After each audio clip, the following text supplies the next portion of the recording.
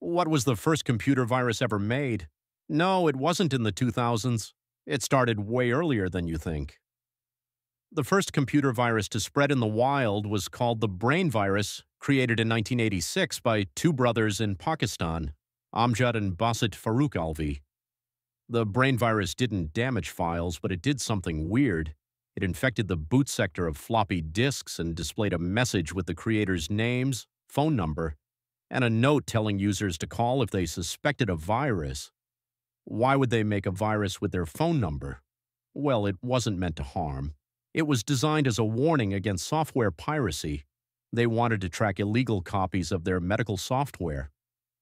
Little did they know Brain would go viral, literally, and inspire the entire future of malware, hacking, and antivirus software. From floppy disks to ransomware, it all started here.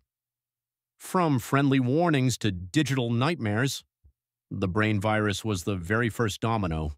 Follow Global Mix for more wild stories from tech history,